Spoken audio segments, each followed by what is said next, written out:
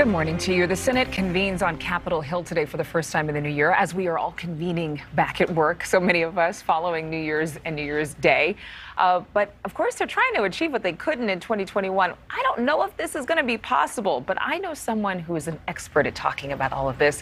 White House columnist for The Hill, Niall Stanage, joining us. Good morning. Happy New Year. Happy New Year. Good to convene with you again. Exactly, exactly. As we're very formal in 2022. But Niall, let's let's be really plain. This is like the song that never ends. We've got Biden's uh, Build Back Better plan. Democrats are trying to save. We have inflation that has not been resolved, and the budget is set to expire again in February. So let's dream a little bit. Let's use an execution approach. What would be on the Democrats' vision board for 2022, do you think?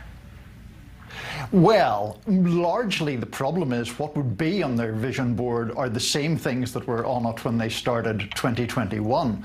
And that's part of the problem, Adrienne. There's a lot of unfinished business. Obviously, COVID is part of that, um, but a lot of the congressional legislation is part of that. So there is this desire to get things done. At the same time, the underlying realities, the, the tectonic plates are just the same. And that's Democrats have big dreams, but very slim congressional majorities. And as they try to enact those dreams, they also run into a wall of Republican opposition. Well, and, and it's just that they haven't really had this unified agreement over these massive spending bills. Build Back Better uh, is a prime example. It's back on the negotiating table. Joe Khalil's been talking about that this morning. But will Congress be able to get that bill to a place that will actually pass Senator Joe Manchin's muster? I mean, he's the one who's the make or break vote. We've been reporting it for months now he's saying he's willing to talk, but what's going to have to happen? I think the chances of that are possible, but I wouldn't put a lot of money on it, Adrienne. And you mentioned the fact that he's been talking about it for months. That in itself is important.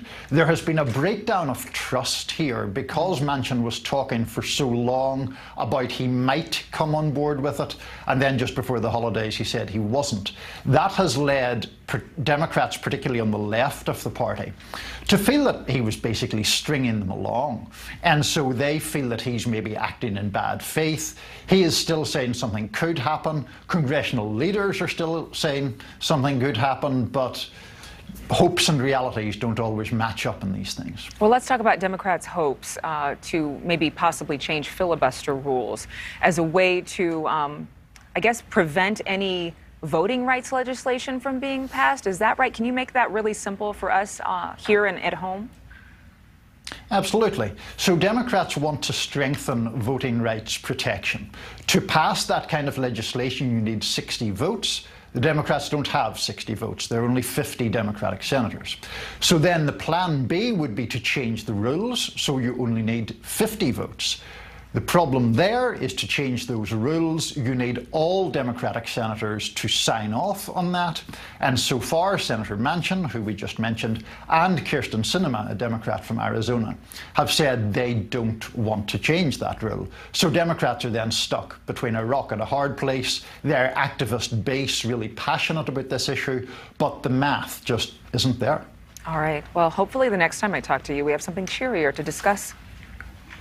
I feel I sang you a very sad song today, but we'll try and get better next time. That's okay because you were still pitch perfect as always, Niall. Thank you so much. Ah, thanks, Adrienne.